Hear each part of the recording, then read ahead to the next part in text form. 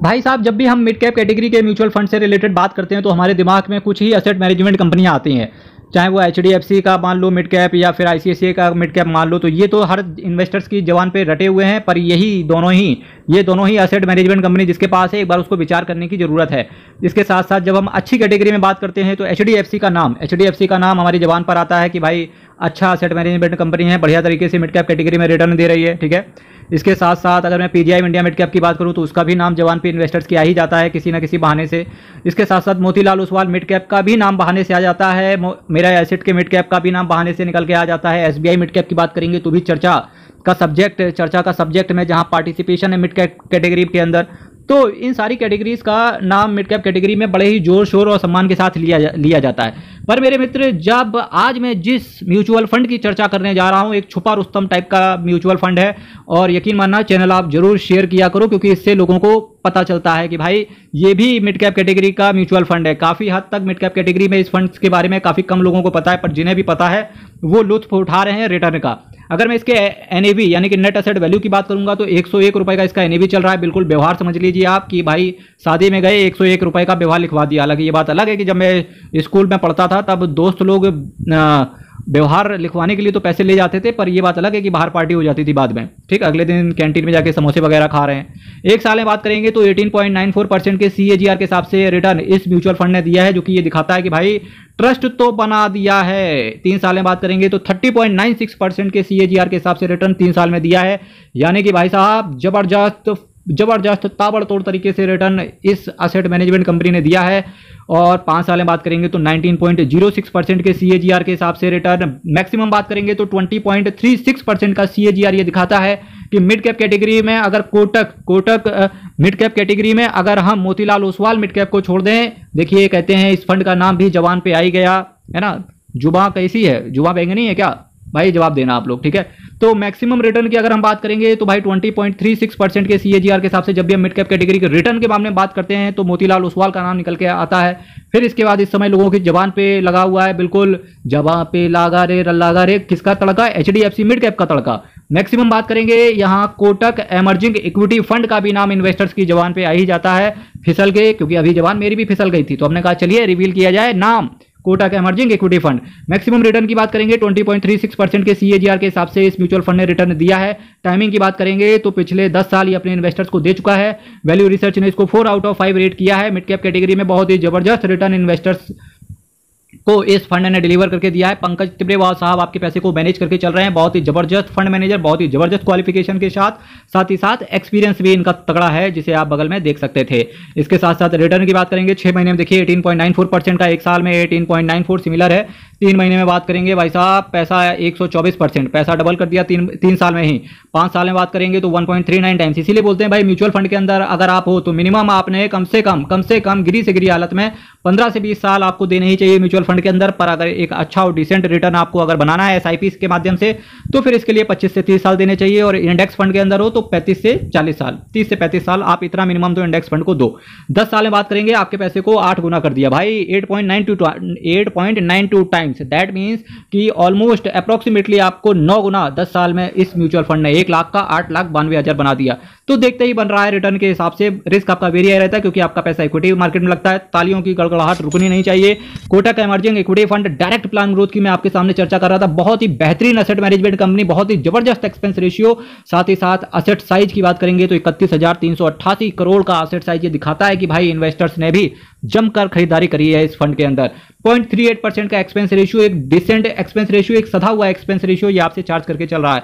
6.29 percent का ये cash hold करके चल रहा है। Nifty mid cap 150 total return index को इन्होंने बेंचमार्क के तौर पे लिया है। प्लान ग्रोथ है। तीन सौ पैंसठ दिन के अंदर निकलने की चेष्टा करोगे?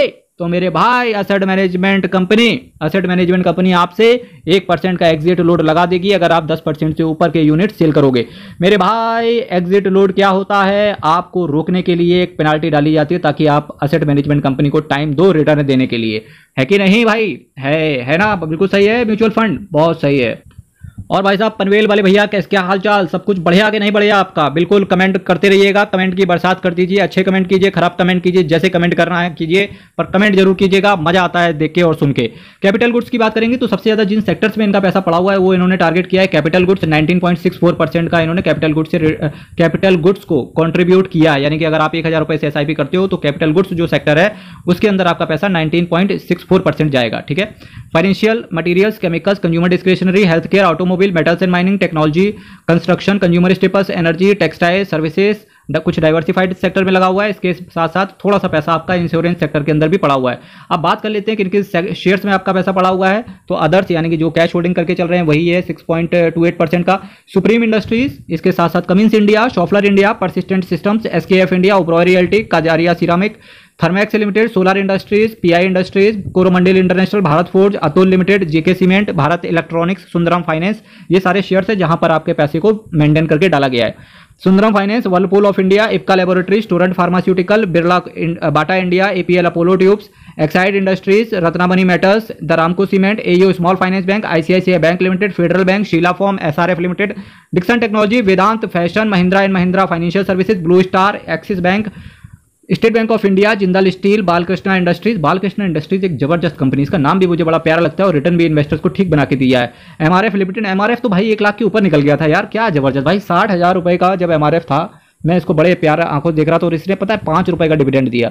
इतना क्रिटिसाइज किया गया मार्केट के अंदर, बड़े इसके मीम्स भी बने एमआरएफ के। और भाई एक लाख ऊपर क्रॉस किया, देख सकते हो भाई क्या ज़बरदस्त है। Max financial services limited Cadila health care V guard industries Emami limited Voltas Shriram finance Hindustan petroleum corporation limited Apollo hospital Amber enterprises Page industries Sundaram fasteners Page industries का, ये पेज इंडस्ट्री जानते हो ना क्या है? ये मेरे भाई वही है जॉकी जॉकी ब्रांड आपने सुना होगा, है ना? अंडर गारमेंट्स वाला। ये वही है पेज इंडस्ट्रीज़ इसका जाओ शेयर प्राइस चेक करके आओ, दिल खुश हो जाएगा। टाइप करना गूगल पे। Page industries share price. Google पे सिंपल ऐसी टाइप कर देना गूगल पे। आप शेयर प्राइस देखना, उसके बाद कमेंट कीजिएगा, दिल खुश हो जाएगा, ठीक है? और ये देखिए, क्या ज़बरदस्त इन्होंने, शेयर इन्होंने बहुत तगड़े तगड़े ले रखे हैं, ठीक है? इसकी वजह से ये रिटर्न दे पा रहे हैं ट्वेंटी परसेंट का। और देखिए, एक कंसिस्टेंसी मेंटेन करिए चाहे एक साल हो, चाहे तीन साल हो, चाहे पाँच साल हो, चाहे मैक्सिमम बात हो कंसिस्टेंसी रिटर्न में मेंटेन करी हुई है। यही एक अच्छे म्यूचुअल फंड को बनाता है कि भाई, अगर आप कंसिस्टेंसी मेंटेन करो और एक दो परसेंट अगर रिटर्न कम है तो कोई दिक्कत नहीं है इन्वेस्टर्स आपके पास बना रहेगा। असेट मैनेजमेंट कंपनी के बारे में बात करेंगे तो Kotak Mahindra asset management company की चर्चा करें तो तीन लाख चौंतीस हज़ार तीन सौ छियानवे करोड़ का असेट अंडर मैनेजमेंट ये दिखाता है कि भाई इन्वेस्टर्स का ट्रस्ट इस फंड के अंदर बना हुआ है। टोटल एक सौ बयालीस स्कीम्स के साथ ही आते हैं मेरे भाई। चैनल शेयर कीजिएगा चैनल को सब्सक्राइब कीजिएगा कमेंट ज़रूर कीजिएगा। और अगर आपके पास रेगुलर प्लान है तो डायरेक्ट प्लान पर बने रहना, ठीक है?